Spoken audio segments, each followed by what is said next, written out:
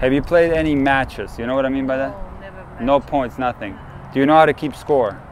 No. I mean, I've heard about like uh, love, All right. 15, Love 15? 30, 40, and 45.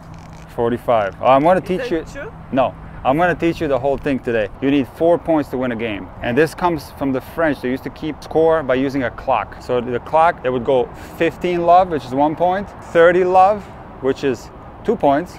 Then you would think it would go 45 love and then game. But the problem is, what if you tie at 45 all? You need two points to win the game. And that's why they say 40, because 40 would go up to 50, one point, and then another another point would be 60. Does that make sense?